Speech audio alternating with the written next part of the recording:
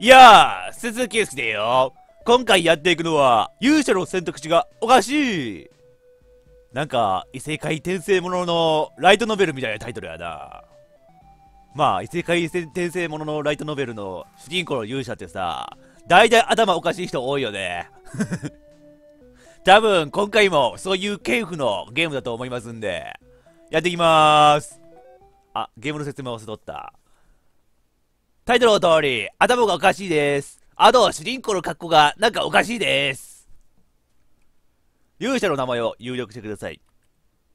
ハルイ。デフォルトハルイ。ここは普通に設計でいきます。勇者節ピッピでよろしいですか？設計やめたわ。なんか名前がひねりないなと思ったっけ？ど、節ピッピにしたなお前。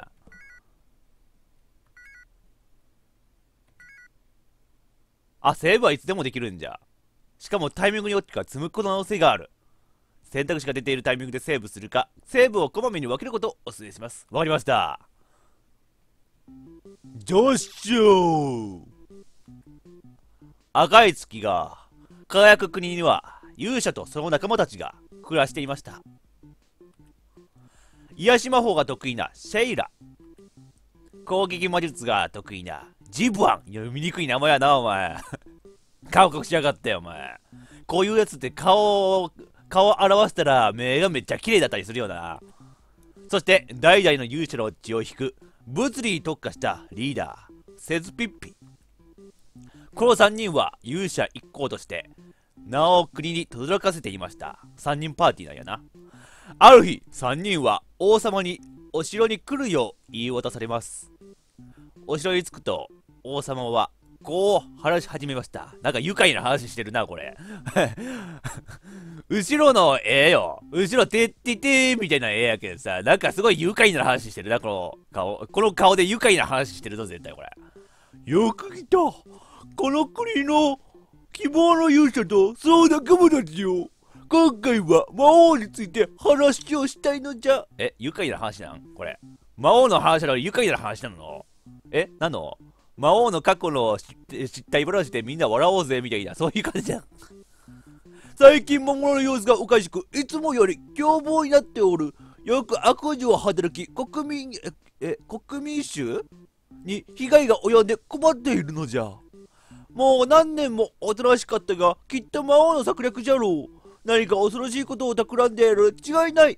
王様、いくら魔王でもね、その何も起きてないのにさ、た企んでるに違いないっていう先入観も良くないですよ。それを阻止すべく、オルネシアには魔王を倒してきてほしい。もちろん、褒美も使わそう。こうして、勇者一行は王様から重要な任務を言い渡されたのでした。勇者一行はそれぞれ褒美として、シェイラはお花畑、お花畑冒険の褒美としてお花畑もらう、冒険メンバーとか珍しいな。シバンは魔術と実験施設。いや、怪しいことやるんじゃないか、お前。お前、怪しいことやるんじゃないだろうな、お前。人体実験とか言ってバケモン呼び出したりするんだろうな、お前。それでどっちかって言ったら魔王の四天王候補になるぞ、お前。セツピッピは、ハンダゴで、ハンダゴでは あ、なんなの？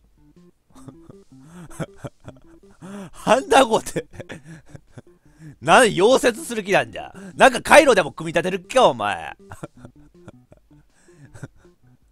あとさ、この王様のさ、爪爪なんかちょっと病気になってませんか？それともなんか、わさび寿司でも食べました？王様。すごい色してますよ、爪の色。よし、じゃ行こう。王様から快く了承を得ることができた3人は、その褒美と国民たちの声援を糧に、魔王退治へと旅立つのでした。勘勘の書き方勘の書き方がなんか後から、あ、忘れた書いとこうみたいな感じ。雑第1話、始まりの赤い果実。果実。食べたら不老不死になりますよみたいな伝説があるかもしれない。暑い暑い日差しの中、勇者一行は魔王の城へと向かいます。暑い暑い日差しの中、勇者一行は魔王の城へと向かいます。なんか音楽の曲歌詞に乗ってそうな歌やね。その中、あなたのお供の人、人、魔術師のシバンが声をかけました。おい、勇者説明ピよ。お前は魔王についてどう思う？もう何年も動きがなかったというのに、やはり何かを企んでいるのだろうか？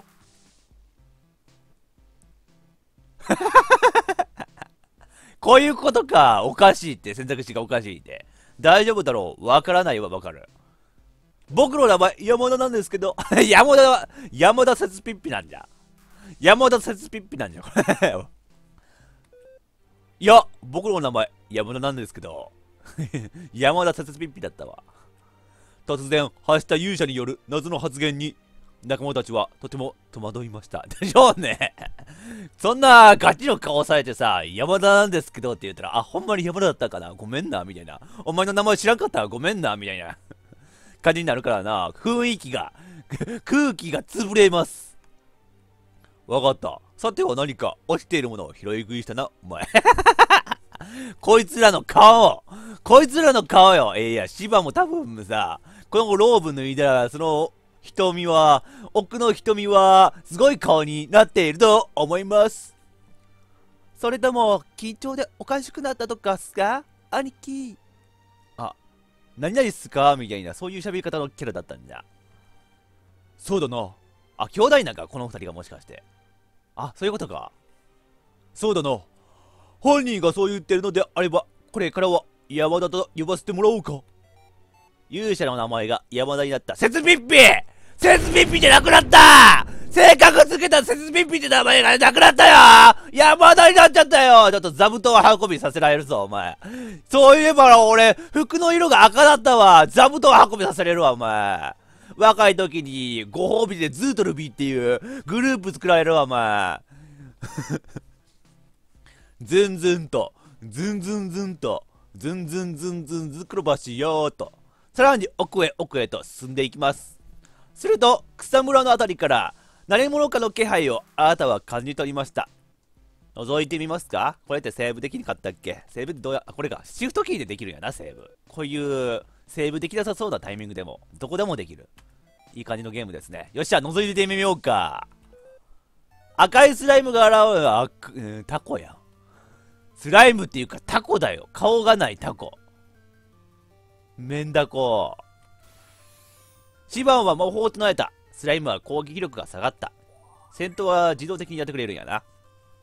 あ、俺のターンは、あ、俺の操作するんやな。無駄な接触はせんわ。逃げた。おいどこへ行くんだ？山だ 仕方ない。俺たちも退却しよう。え？は、はい。了解っす。逃げた。逃げた。勇者一行はスライムから命からがら逃げ出すことに成功しました。おい、山田、なぜ逃げた？スライムごときに。あー、でもね、最近のアニメでね、あの、スライムごときに、上級魔法を何回も何回もぶっ破するような勇者見たことあるんで、まあ別にいいじゃないですか？そういうやつよりはマシじゃないですか？シバンは怒りをあらわにします。そこへシバンを落ち着かせるべく、シェイロは割り込んできました。まあまあ、落ち着いてくださいっす。とりあえず、二人とも、どこも怪我とかはないっすか？そう言いながら、シェイラは体に優しく触れ、怪我をしていないか入念にチェックしてくれます。およう見たらさ、腕細いな。セツピッピ、え山田、山田腕細いな、お前。腕細すぎか、お前ちょっと ようそんなに勇者なれたなって女の子でももうちょい太いぞ、お前。あ、山田の兄貴、ここ少しすりむいちゃってるっす。チェイラはそう言い、にっこりと微笑むと、回復魔法の呪文を唱え、あっという間にあなたのすり傷を治してしまいました。ああ、ありがとう、シェイラちゃん。俺の社畜として働いてすり減った心の傷も癒してくれないかな。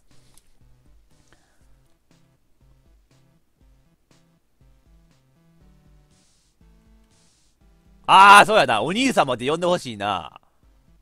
兄貴よりもお兄様って呼んでほしいな、こういう女の子キャラは。兄貴っていう言い方じゃなくてさ、お兄様ってさ、さす鬼って呼んでほしいもんな。さす鬼。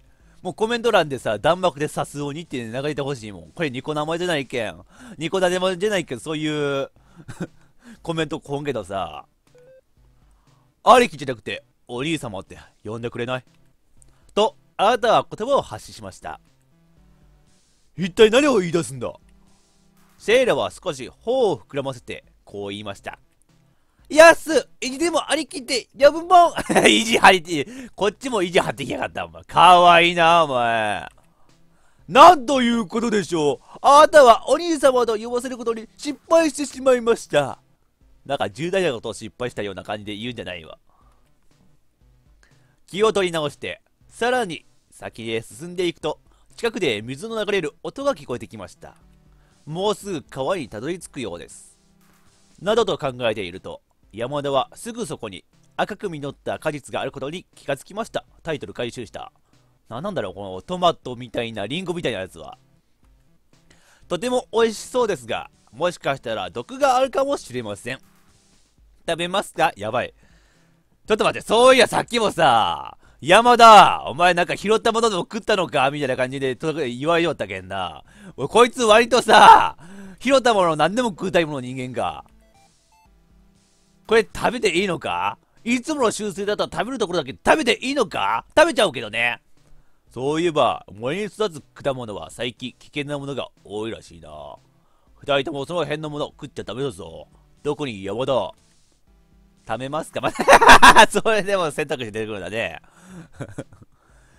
まあ、食べますよ毒こそ食らってやるんだよラボゲーあなたはむしゃりと勢いよく赤い数字むしゃぶりつきましたいったそばから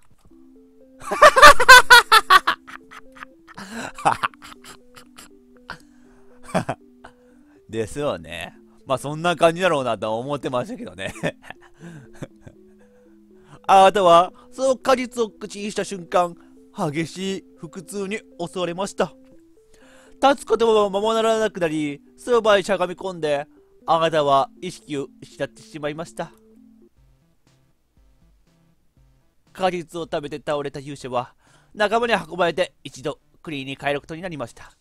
勇者はあの果実の激しい腹痛を起こす作用と同時に、黒色のものとは思えないほどの美味しさを持っていることを知り、なんとか腹痛を起こさずに食べられないものかということで頭がいっぱいになり、料理の決修を始めることにしました。その後、長い年月をかけて見事、その果実の美味しさを劣化させることなく表現することに成功。その五目で料理の研究は続き、九州はコロックリの一番の主婦になりました ノーマルエンドさん、美味しい果実。ジョブチェンジしちゃった。あと、寿司三昧やるんだよ、お前。寿司三昧。これ寿司じゃないんだよ。何寿司三昧やってんだよ、お前は。